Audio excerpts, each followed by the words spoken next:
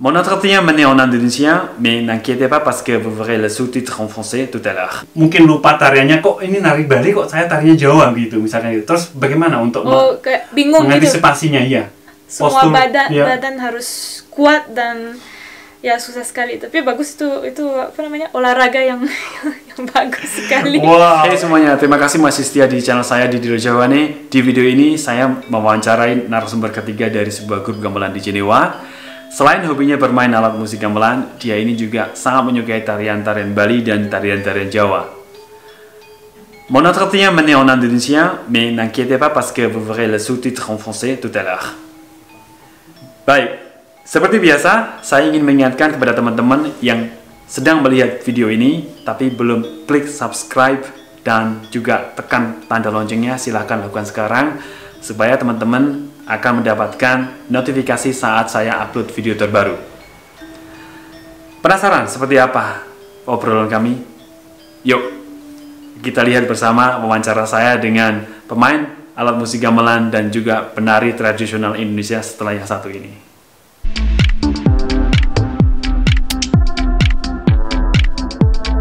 You guys see my shadow, right?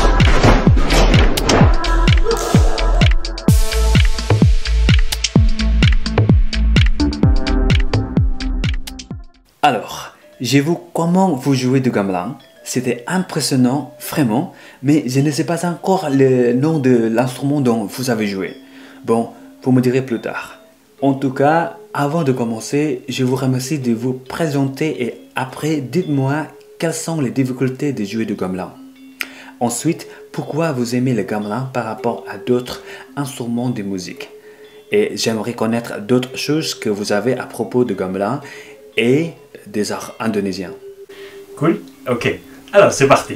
Euh, oh, quelle langue je fais, je fais, enfin, je mélange. Ah oui, oui, bien sûr, vous pouvez parler bahasa et français parce que j'ai entendu que vous parlez indonésien très bien, ainsi que le suisse allemand.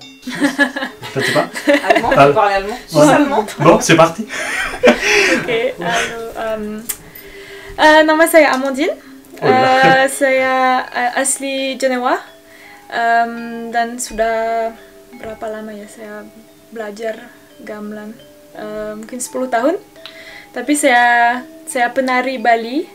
Jadi eh, saya saya sangat tertarik dengan gamelan juga karena itu ya em, karena penari harus harus eh, Menjiwai. ya gitu, gitu ya jadi saya dan saya suka gamelan Bali karena dinamis ya dan saya suka karena cepat dan ya agak susah karena harus em, apa hafal semua eh, dan ya susah sekali karena cepat sekali harus em, ya dan persis juga dan Presisi sangat penting sekali. Iya, iya, iya, Tadi saya lihat um, bagaimana kamu memainkan.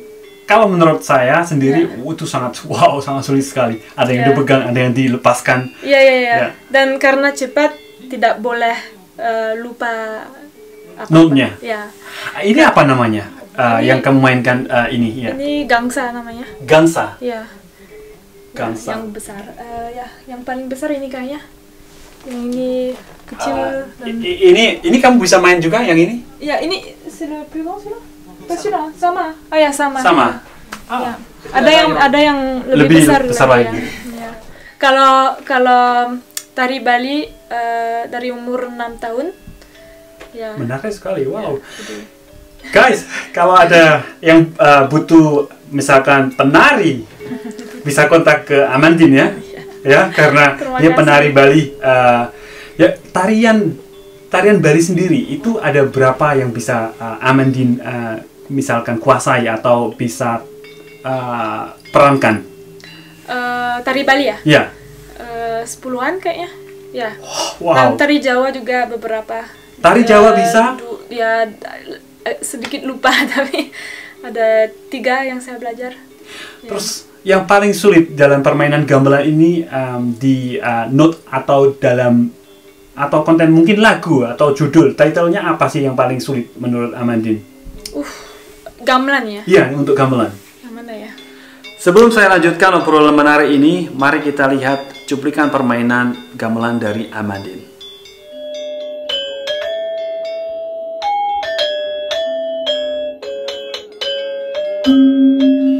Ya, ini yang tadi Sekar Ginota itu agak susah. Sekar Ginota. yeah. Opening ya. Ya. Untuk susah. pembukaan. Iya. Sudah susah. Bagaimana kalau sudah?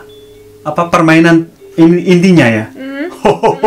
Iya. Itu bukan saya ya. Cepat sekali dan kami sedikit pelan juga karena masih belajar. Tapi kalau apa eh, tempo yang biasa, yang yang seperti Bali, Hmm? gila. Energetik Iya. sana ya. Iya, iya, ada, di- ada musiknya. sekali ya. Lebih Lebih suka mana antara permainan gamelan Bali dan gamelan Jawa? Eh, menurut saya beda sekali ya. Kar- ya, tidak sangat beda tapi yang Jawa agak apa lembut lembut. pelan dan Oke. seperti apa ya? em, bagus untuk eh, relax, santai, seperti terapi ya. Seperti terapi. Ya, itu bagus sekali.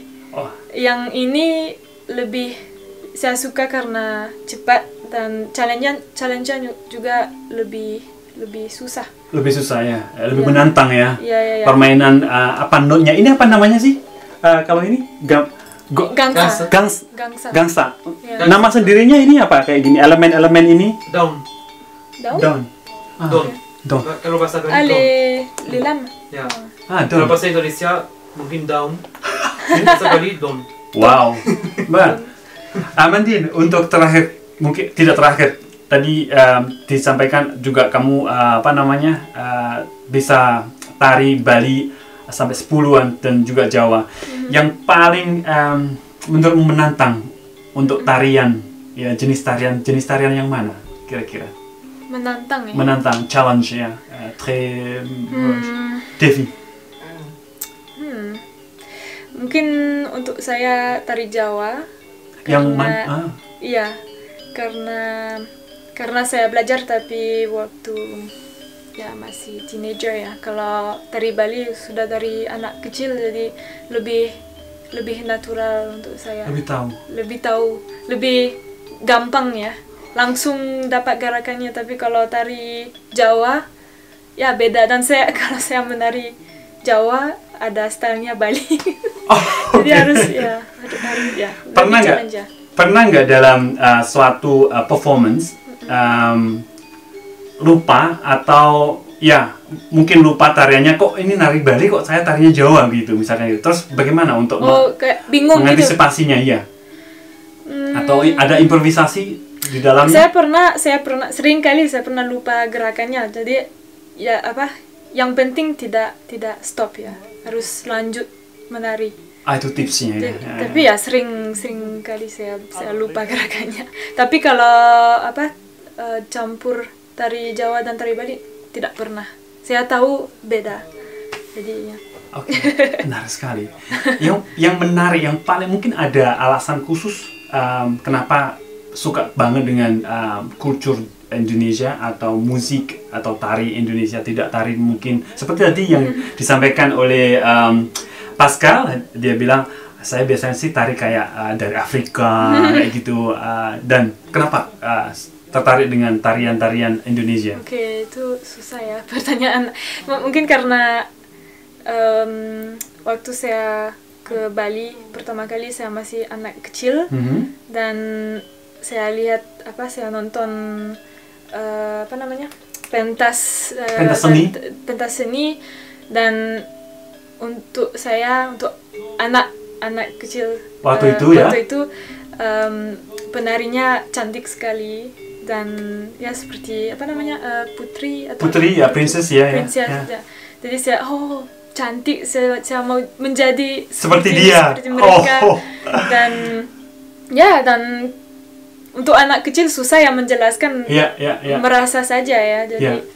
Saya ya sampai sekarang saya saya suka dan Terinspirasi ya. inspirasi dan bagus juga untuk badannya Kan Karena susah sekali susah menari sekali. Bali, Iya, matanya. iya. ya. ya su- su- susah karena apa semua Postur, badan iya. badan harus kuat dan ya susah sekali tapi bagus itu itu apa namanya olahraga yang yang bagus sekali Wow, excellent. ya Amandin, kira-kira kalau misalkan ada yang uh, mau kontak sama Amandin nanti bisa saya uh, kasih kontaknya di ini ya, di channel saya ya. ya saya saya punya Instagram Ah, oke. eh, Apa namanya, namanya? Tari Bali Swiss Tari Bali Swiss. ya satu kata dan Swiss itu S W eh, ISS. SS, Ya, oke, tari seperti Bali Swiss, Swiss. on Swiss. Guys, kalau um, ada yang ingin kontak uh, Amandine bisa langsung ke Instagramnya, ya.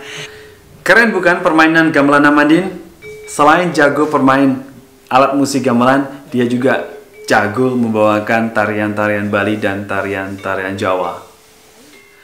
Baik teman-teman, saya akan merangkumnya.